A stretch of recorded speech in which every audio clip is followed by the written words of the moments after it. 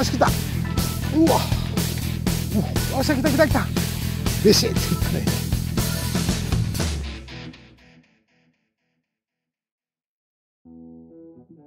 このね P ラインが登場してからですね遠投力がねすごくアップできるようになったんですよ。従来のナイロンラインをね使った時にはもうフルキャストですねもう目いっぱい投げてまあ距離を稼いでたんですけどこの P ラインができて本当8分の力ですね。軽くこう投げるだけで距離が出せるんですよ。そうしたら何のメリットがあるか言ったらですね柔らかい餌がですね。8分の力で投げるから振り切らんから餌が飛ばないんですよ。もう自分らがどっちか言ったらもうネレサメインで釣ってますからね。距離が出しにくいんですよね。ネレサチのは結構重たいですから。オキアミだったらもう5メーターぐらいは軽く距離が違うんですけどね。その意味でもやっぱりこの P ラインの細さですよね。それでそういうメレーさも遠投できる。これまた強みなんですよ。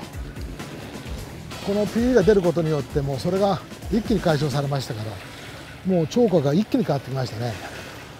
もう一つは8分で投げれるってことはキャスティングというかもうすごく正確に入るようになったんですね。これやっぱり大きいですね。目いっぱいこう振ることによってそこの投入地点に投げようとすることがですね8分で投げるとほとんど正確に入るようになったですね。これやっぱり大きいですね。こう内科がねこう引いたらねもう前前出れるんですよ。でこういうね岩がね前どんどん出てきますからね、まあ、自分が特にこう荷物は軽くして前前出てなるべくポイント近くね設定するような感じで攻めていきますから。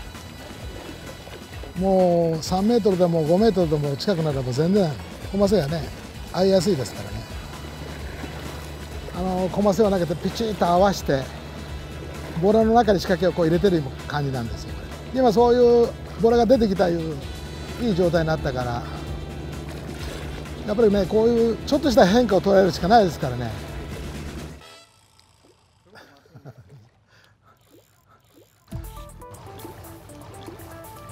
おおこれちょっと糸出して竿だけで。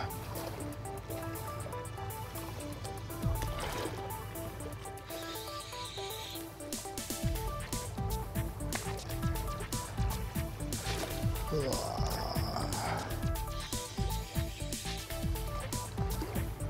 こう前で来る音もねそんなにこう音しないでしょピール特有の。ちょっと強引にやりますよ。こっちが何もないですからね。こっち誘導します。一応何もないとこまである程度引っ張ってその絞りのところ今行ってますからね。そこを強引にするんじゃないしソフトに。結構ねピーの張りがあの伸びない分だけ魚の弱りがすごい早いんですよね。グッと受けた時にはね。もう今も綺麗にこう竿先を押さえてくる感じでじわっとこう乗ってきますから。やっぱりボラが良かったですね。ボラが来たおかげで。正確にコマセを合わせたらやっぱり当たってきますね。今使ってる PE がですねリビデットプロの PEG5 プラスなんですよ。これ比重がだいたい1.3ぐらいですね。それと今あのナイロンがですねサスペンドでだいたい1.14ぐらいですか。だからこの PE の方が比重があるんですよね。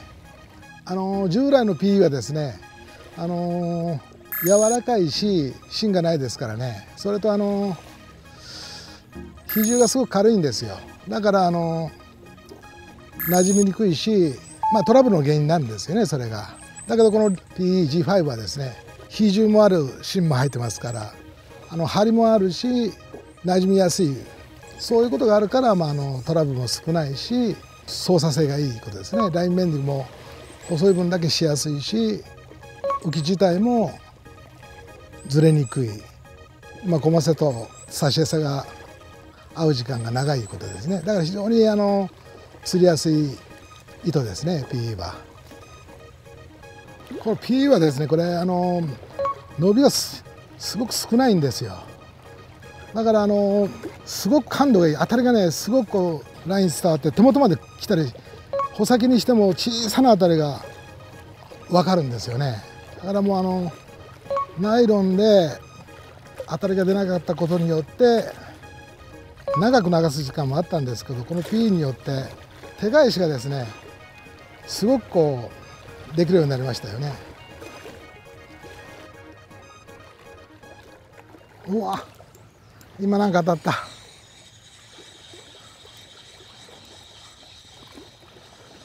これが当たるんかあんなに。見た？このた。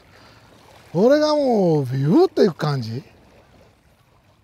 こんなちっちゃい頭が引くのすごくわかるんよ。かかってないかなと思ったら当たりがビュッとあるから。まあそれだけ P の当たりが大きくなるよね当たりが。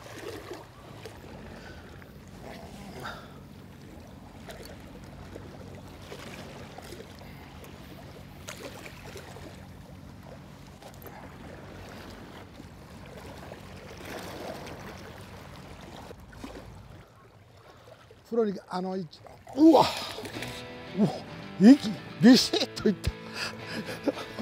うわ見た今。うわたまげた。お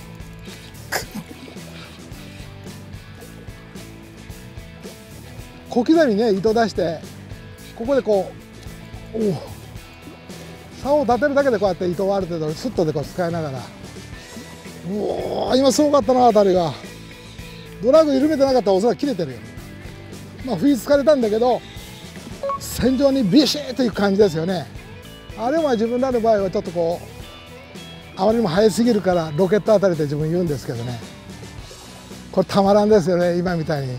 バーンといって止めて竿をスッとでパッと角度だけつけてこのやり取り入った時には。ああだいぶ寄ってきたよ。この魚がどのぐらいの魚かな。普通だったらもうあんな当たりだったらもう50ぐらいあるだろういう感じするんだけど。ここでぐっと竿を上げてもうすくう時には結構頭を上げる感じでこれ入れてやれば。こいつはよく引いたな。何センチあるのか知らん。ああまあまあ、まあ、45ぐらいありますよこれね。これは引いた。ちょっとねあの辺りをちょっと味わったらちょっとやみつきになりますよ。ありがとうございます。